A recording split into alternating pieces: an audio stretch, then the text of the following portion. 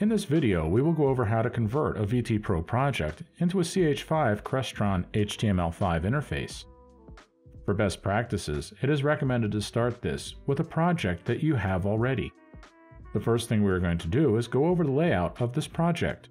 By clicking the inside of the page, this should tell me the page size.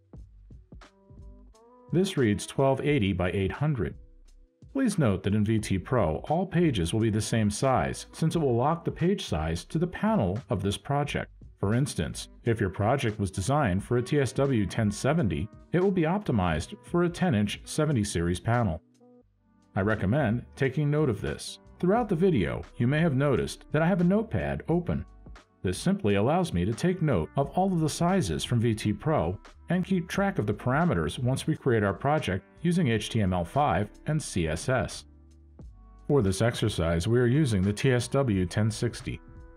For a TSW 1070, the size would be 1920 by 1200.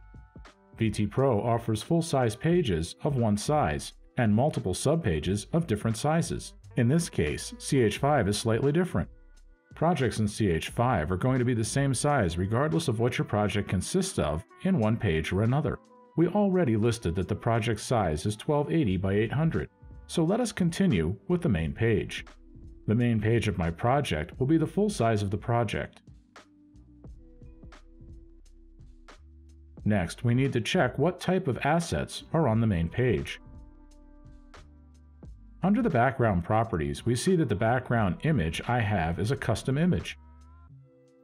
To ensure that I have the same background image in my CH5 project, I will be exporting the image from VT Pro.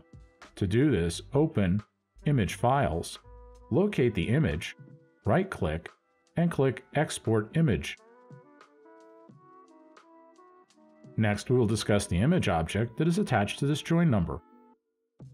By sliding the image, we can see that the purpose of this image object is to make a button.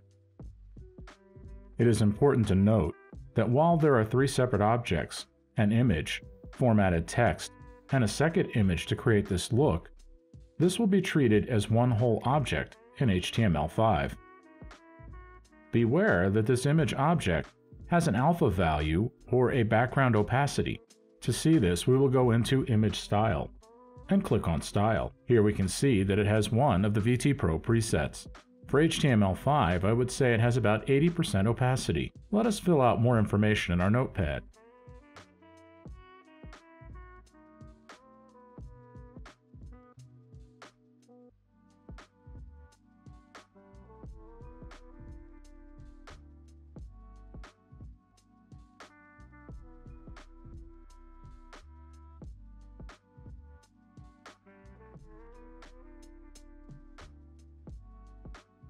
Lastly, join numbers.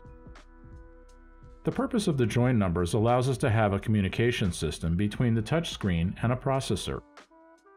In this instance, we have a join number of 1 attached to the start button of our main page. Of our main page. Note that this is a digital press join of 1 since the image object is going to need the ability to transport digital and serial messages. In regard to join numbers in HTML5, we will discuss the different methods of communication in HTML5 in a later video.